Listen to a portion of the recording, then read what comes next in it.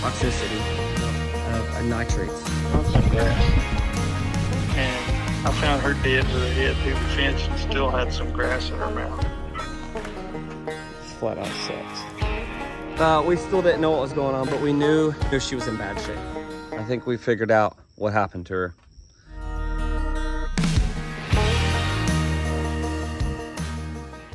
Hey guys, Dusty Baker, Cross Timbers Bison, and welcome back to the channel.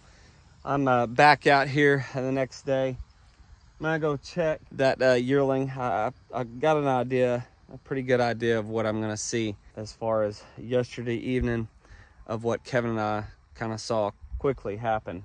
Uh, I'm, I'm not wanting to go over here to where she was, but uh, I think I know what I'm gonna find, which is not good. But I just came out here as a kind of readjusting the float on this and uh, I tested it yesterday and make sure uh, it was working and they're uh, they're definitely drinking out of this fresh water that come it's actually rural water so it comes from the ponderosa. If you if you didn't catch last week's video i ran 300 foot of uh, hose basically from the corner of the ponderosa the rural water all the way to here with kevin's help and brooks's help.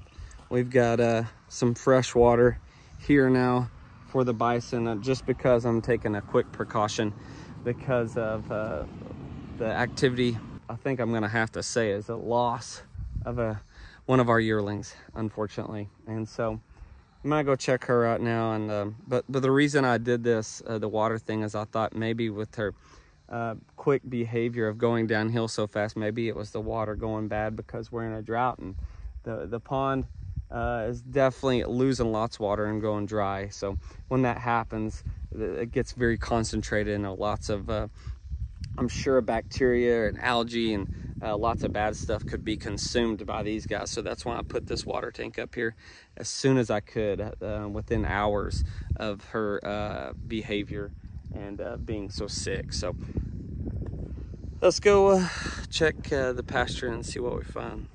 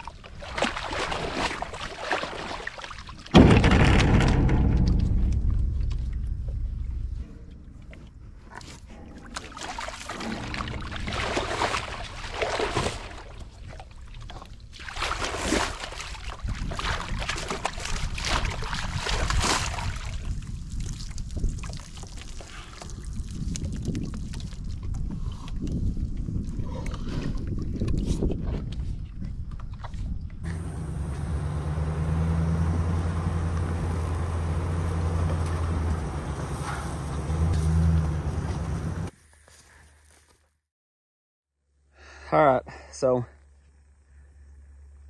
got to use this. You know what that means. Chicken scared the crap out of me. Oh, I know what you're doing. You're chasing all those. That gum chicken was out here chasing grasshoppers. All right, guys, so back up here at the Ponderosa barn. Um, I guess you've uh, figured out what has happened. Unfortunately, we uh, we have lost one of our South Dakota yearling heifers, and uh, it's uh, not something you want to talk about. It's not something you want to put on here, but it's part of it. Uh, you're raising livestock, you're raising animals. Um, doesn't matter if you you got a dog or a cat too, a pet uh, things like this can happen.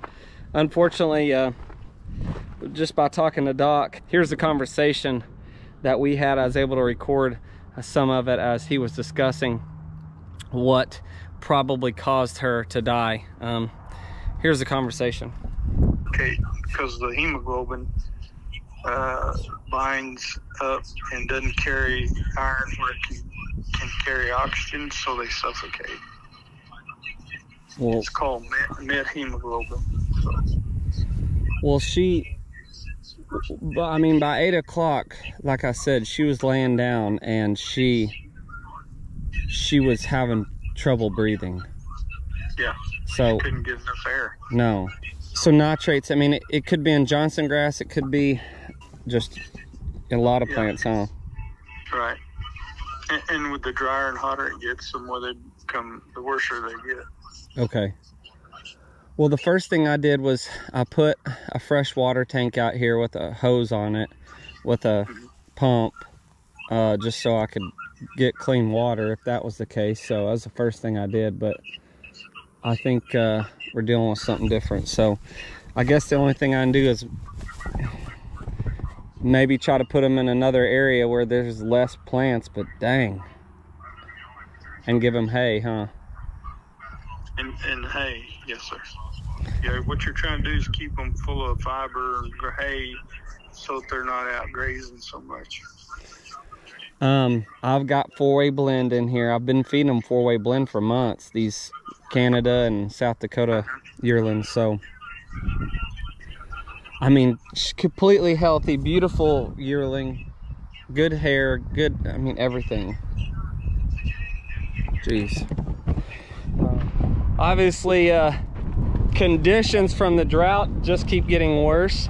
Um, some new stuff that I'm learning when it comes to all the effects of a drought. And uh, uh, what Doc says is as the drought gets worse, the plant's toxicity or the plant's toxic nature comes up, rises. So I think that's what it. Unfortunately, the drought is having more effects than I even thought it could. So I said, Well, what do I do about brush hogging? He said, Well, that's a risk to take to go and brush hog because you better leave what plants you got.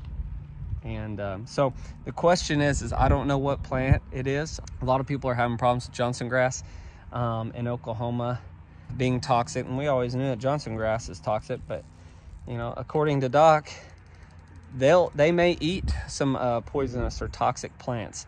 Uh, it's how much consumption that they have of it uh, uh, in order to get them. And he said sometimes they'll start eating it and then they just, it makes them want to eat it even more, he says sometimes. And he's had cattle. Uh, he told me he had a he had a cow one time reach to the fence to eat some Johnson grass, and it killed her so fast, her head was still hanging in the fence. That's how fast it killed her with grass in her mouth. Johnson grass. I found her dead with her head through the fence and still had some grass in her mouth. Oh my. Uh, so what I'm having to do right now is I'm gonna put out some hay.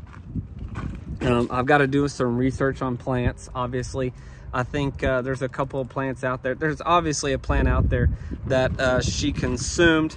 Um, but the funny thing is, guys, I had told Doc, I've got a feeder out there for them. Uh, you see the big blue uh, Oklahoma Pride feeder out there. They've got feed. I've been giving them hay. I've got to do my best just to keep them full. And so the same thing with the Dunbar herd is uh, I just want to keep them full to try to reduce that and um, hopefully we don't have any more problems.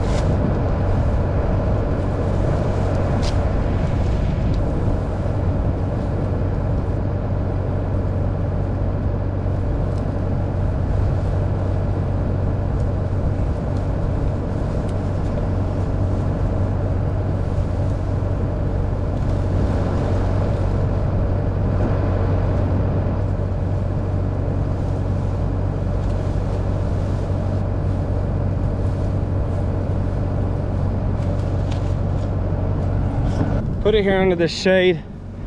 There's the yearlings over there. There's their bunk feeder. I'm gonna take one over there to them, get them taken care of.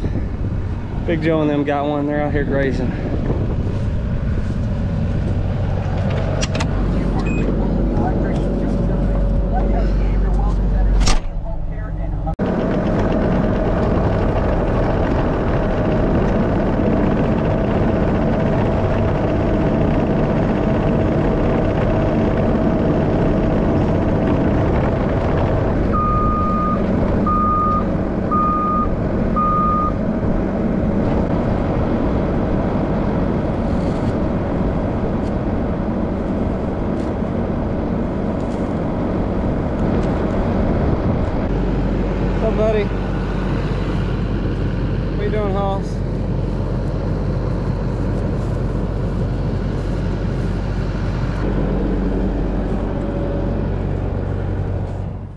Well, now that we've talked to Doc and got some good info on a very probable cause, I'm gonna walk through here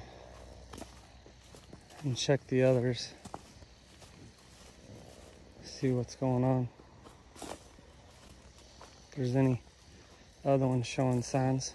Oh, glad you're awake. Jeez.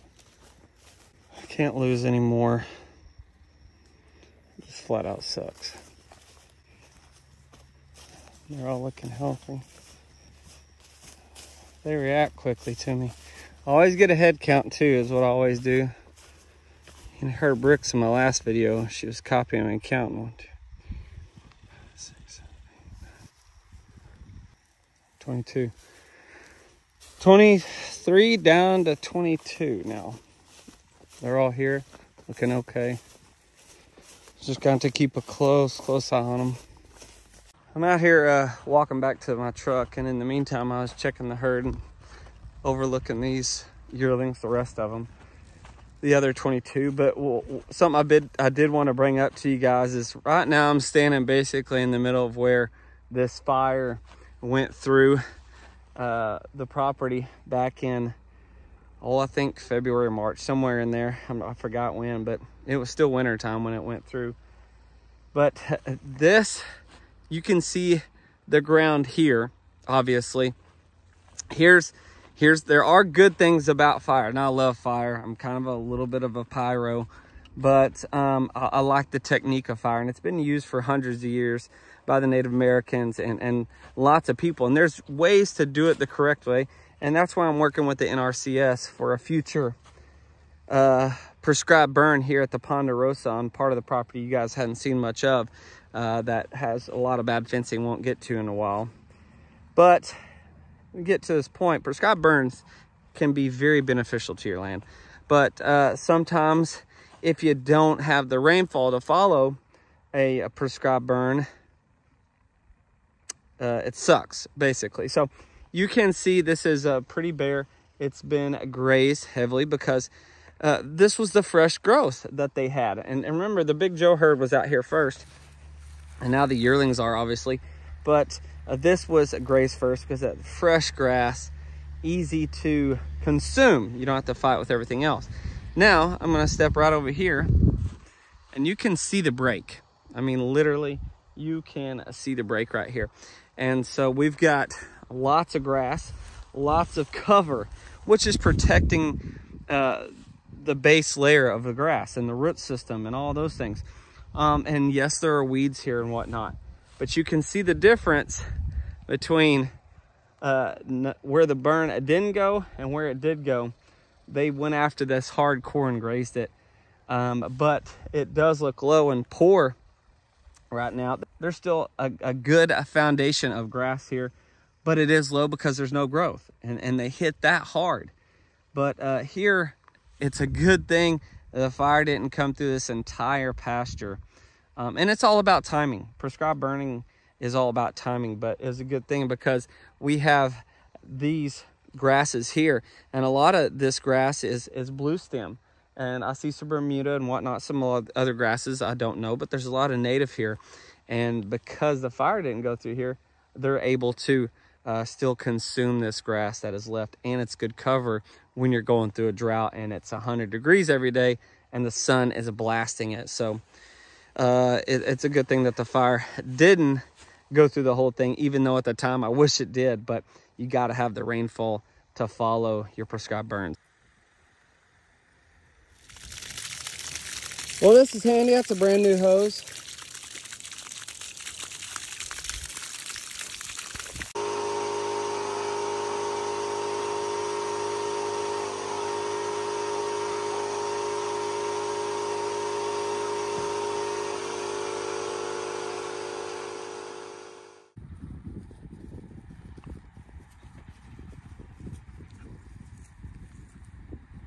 All right, guys. So uh, this is uh, here's a group of yearlings This is just a small portion of them. There, a lot of them are starting to make their way up from the bottom pasture, coming up to this blue feeder. This is the blue feeder that I was talking about earlier.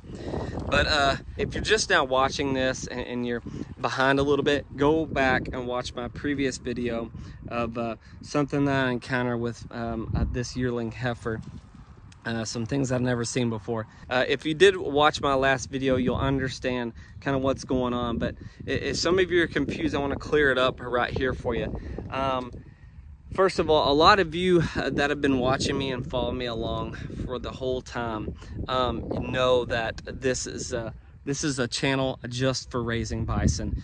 Um, guys, and it shows everything that kind of goes behind bison ranching. Now, I'm about that big on the entire bison ranching scale, but this is what we do locally. This is some things that we do uh, around a small bison ranch and, and I and I put myself out there and try to show you guys everything that goes on so I want you to know that and those of you that have been following me understand what this channel is about so I want to give you a timeline on on all this on what happened and how fast it happened two o'clock I came over here I had a meeting at 2:30 with a natural resource conservation service gentleman that I've been working with about prescribed burns already had that scheduled came over here at two o'clock and one of the yearling heifers from my South Dakota uh, Canada group was right over here all by herself and the rest of them were in the shade because it's been over 100 degrees every day.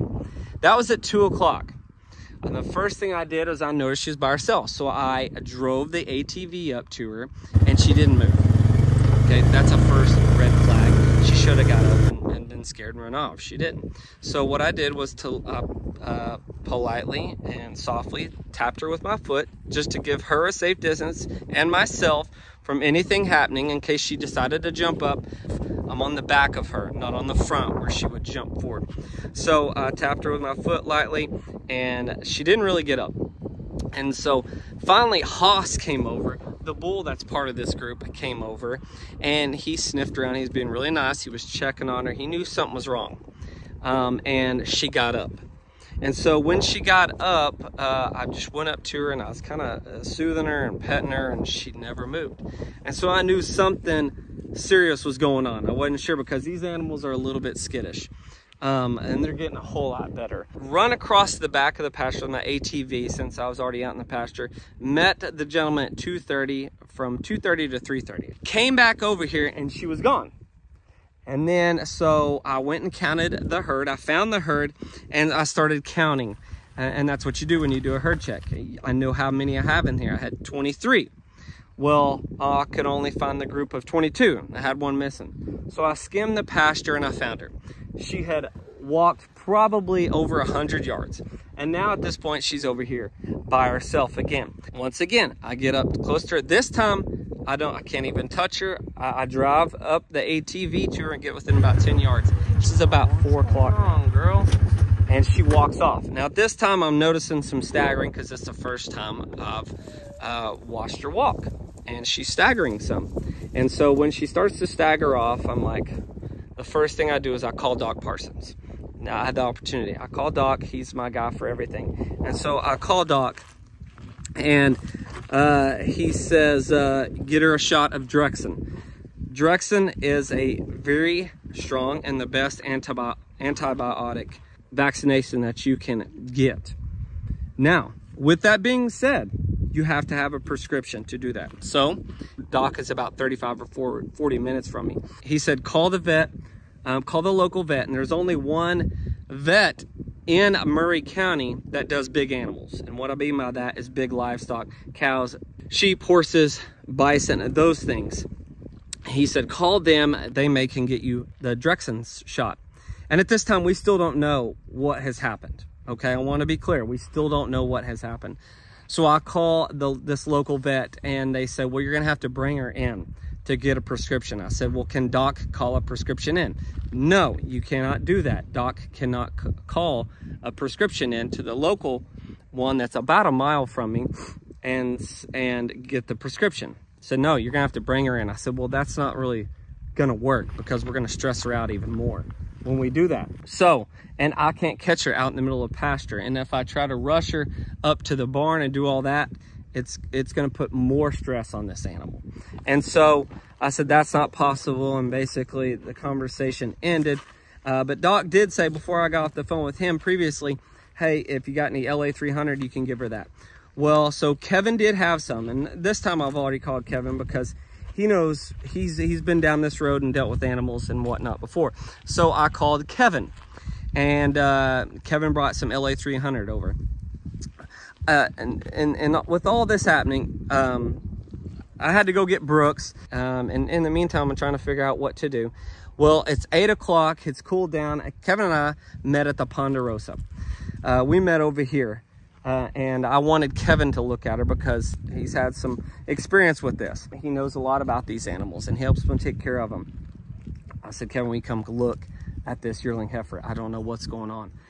Well, it's eight o'clock. Kevin and I drive back out to the pasture when the last time I saw her, the last area I saw her, she didn't go very far. This time she was laying down on her side. He, she was obviously struggling. She, uh, she was having a hard time breathing. So within six hours, she was having a hard time breathing. Now, I want you guys to understand something. Uh, at four o'clock, when I'm running around uh, trying to figure out what to do, I can't take her to the vet. Uh, it's almost five o'clock anyways. They won't make a, a, a call and run out here. And so by the time she's laying on her side, Kevin brings the LA 300 over, which is another antibiotic, and he gives her a shot of antibiotic by 8 o'clock. Um, and now we still don't know what's going on. We have no clue what's going on uh, with this yearling heifer. And none of the other ones by this time are showing any signs, any other signs. She's the only one. And so Kevin and I give her a vaccination and we know at this time things have gone downhill, which I brought that to you in my last video. I said things are not looking very good basically. And they weren't at this time. So a couple things that came to my mind uh, after the four o'clock thing is one water. I said, uh, I know the pond is getting low and, and, and they do poop, they do poop and pee in it. And just, just like every other animal and, and that, you know, lives in, in, in the wild and whatnot. They drink out of the creeks, they drink out of the lakes, they drink out of ponds, any water source they can get. And they have a pond. And uh, so my first reaction was to fill up water tanks. And that's exactly what I did. They're sitting right up here and so that was my first reaction. I did that after four o'clock or so when I was running around.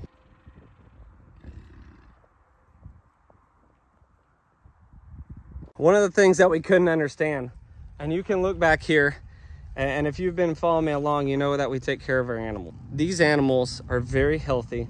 They have a great hair. They are full and they just, they, they look really good right now. And even with the drought, We've got the feeder, we've got hay. We're doing everything we can to still take care of these animals. Um, and, and that just goes, that's just more expensive for us. And right now I, am at the point where it's just the mercy of rain is what we need and these animals need. That's what they want. They want to go graze. That was the thing, guys, is we, uh, we are like, these animals are so healthy. She's so healthy. What's going on? So next day, here we are. So when I called Doc, um, the next morning, he explained to me everything. And uh, so I went out there to check her. And Doc said, check her vulva, open it up and tell me what color it is. And that's exactly what I did. I, I had him on the phone and um, I checked her and it was purple. And apparently purple means toxicity or uh, that she died of uh, nitrates. So what plant is out here? I don't know. Animals have been in this pasture for a long time. We're not sure what plant it is. Uh, all the other animals have not shown any signs whatsoever and are doing great. So one of the questions I asked Doc was, can you give them a vaccination to reverse the toxicity? Can you do that? And he said, no, the only thing you can do is give them an IV. And he named off a certain uh, drug or whatever to help um, do that. Um, he said you can do that in cattle sometimes. Here's the problem with bison, guys. Um, it, and I know uh, there's some bison producers out there that will, will back me up on this. Guys, these animals right here are way different than cattle. They are a high stress animal. They're a very social animal, but when you work them, they get very stressed out. That's any bison, mine that are super calm, wild, Yellowstone, any of them they get stressed out very easy. And here's the thing about bison is when you do stress them out, you make things completely worse, especially if they're already sick. If they're already not feeling good or have a bad condition or an underlying condition, and then you go and work these animals and try to load them up in a trailer, should have probably been dead sooner. That's what's tough about raising these animals, and a lot of people don't know that. It, would be nice if I could have just gone out there and gave her a shot and reversed the toxicity. Yes, absolutely. That'd have been awesome, and I'd be, I'd be, I wouldn't have lost an animal today. But unfortunately, this is how it is, and we still have to, we learn from it, and we grow from it. That's just part of raising these animals. You know, guys, I one of the things is part of ranching it does or part of farming you're to lose crops you're to lose cows you're to lose sheep goats you're to lose animals and uh, if it's not toxic plants bad water and if you're in yellowstone it's the wolves and the bears that are taking the bison so um, i hope you guys understand a little bit more we do everything we can to take care of these awesome animals and um, unfortunately um, we lost one today.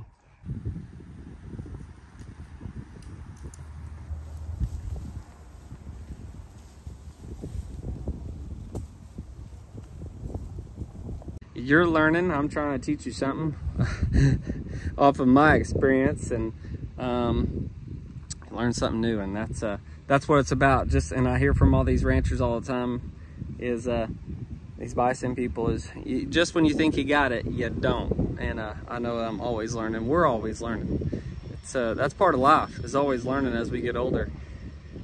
So uh, unfortunate, but uh, she'll go down as a loss. Thank you guys for watching. If you got any questions or comments or or any good information on on toxic plants that could possibly be out here um, with the native grasses here in in this part of Oklahoma uh, then let me know. Leave a comment down below. Uh, anyways, I'm going to do a little bit more research in the meantime too. Thank you guys for all your comments and uh, I appreciate you guys watching us so much raising these uh, awesome animals. Thank you guys. See you soon.